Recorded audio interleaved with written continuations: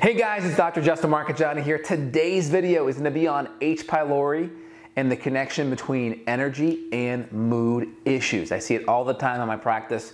We'll dive in. Again, before we do, smash that like button, really appreciate it. Make sure you hit that bell so you get notifications of future content. Also, put down in the, in the comment section what your experience with H. pylori is and was. really curious to know about that. All right, so let's dive in. H. pylori, it's a bacterial infection. It can create uh, gut infections and inflammation in the gut, and it can affect mood and energy via different ways. So we're gonna go into that. So what does H. pylori do to your gut? That's the first question. So here is, this is your stomach, and we have the different layers of the stomach. We're gonna just draw this layer right here, the stomach. And what H. pylori does, it's a helico-shaped bacteria. So it's like a helix. It's kind of like this, and it can screw into the intestines, just like this. It can burrow into the intestines. Now, what's it doing? So one, it's trying to hide away from the stomach acid a little bit. It's creating inflammation. We know H. pylori increases chances of ulcers, right? We have increased ulcers. We have increased gut inflammation, right? We have increased gut inflammation with H. pylori. Now, one thing that's really important that's to do is also going to be decreasing HCl levels. This is important because when we start decreasing hydrochloric acid levels, it starts becoming harder, so decreased HCl, it starts becoming harder to break down protein. So now protein breakdown and mineral ionization stops, okay? Because we need protein We need protein to build our neurotransmitters. So dopamine is made from tyrosine and phenylalanine. Serotonin is made from tryptophan. Um, our catecholamines are made from tyrosine. Um, GABA is made from different amino acids like theanine. So a lot of the amino acids that run our, our neurotransmitter kind of energy systems, they're made from protein. So if we have issues with HCl, that can definitely impact that. And also, that's going to cause decreased protein, like I mentioned. It's going to cause decreased minerals. And minerals are important because they kind of have a tranquilizing effect. So potassium, really important for relaxation. Um, magnesium, really important for relaxation. More, magnesium, more relaxation, but both potassium and magnesium are important for blood pressure, your heart, your adrenals. So we need good minerals and we need good digestion to do it. And hydrochloric acid kind of activates that whole domino chain.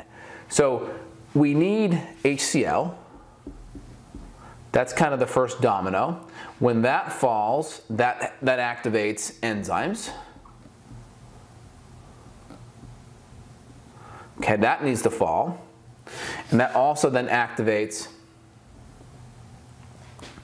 your pancreas, which produces more lipase. And that then also activates your gallbladder, which produces more bile and helps you break down fat. So the next component is fat-soluble vitamins, very, very important next step. So that's more happening in the small intestine, but you can see the next step would be the small intestine and that healthy bile production, which then helps absorb fat. And also guess what? Bile is antibacterial. So bile also allows it let's say, makes it harder for bacterial overgrowth and SIBO to occur. So of course, when you start to have H. pylori, it could start creating SIBO issues as well, right? So you can see. So how do you address H. pylori at the root cause? So number one is you have to cut the inflammation down with your food as well. A lot of people, we're kind of in this antibiotic age where, oh, you have an infection, oh, it's strep throat, it's staph, here's an antibiotic. They don't look at how that infection came to be. So with H. pylori, we have to address the food issue, right? Cut out the inflammatory foods that could be leading to that. Once you have H. pylori, number two, you have to, you know, you have to address the food. You have to look at your partner because you could have the infection, but then you could be hot potatoing the infection back with your partner because it can be spread via saliva it's pretty easily. Okay, you have to fix digestion. When your hydrochloric acid and enzymes are off, it's digestive symptoms start to spiral out of control, so bloating and gas, etc. And then, of course, then we have the um, digestion, absorption, then we have your immune system, right? And it just depends upon how long your immune system has been stressed. Because your immune system is going to get worse the more you have a leaky gut. The more you have a leaky gut, that's going to play a role.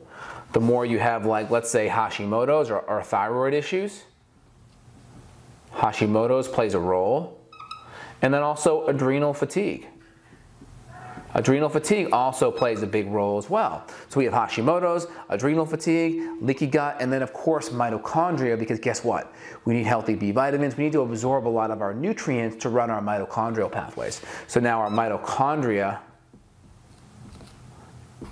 is impaired as well. So you can see how different systems get affected. Now, you may be able to come in and just address the H. pylori and maybe things get better. It's very possible.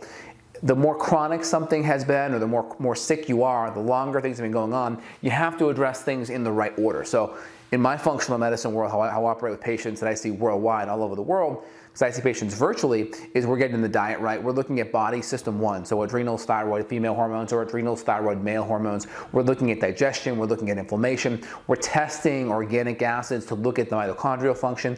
And we're also not assuming that it's just H. pylori. It could be other infections too, SIBO, yeast issues, parasite issues. We have to look at the whole thing together. So if you guys want to dive in deeper, if you have an issue like this that resonates, click down below. You can schedule a consult with my staff and or myself. And if you enjoyed the content, put your comments down below. Let me know what you think. Make sure you subscribe to get access to great new content coming your way. All right, y'all have a phenomenal day. Take care. Bye.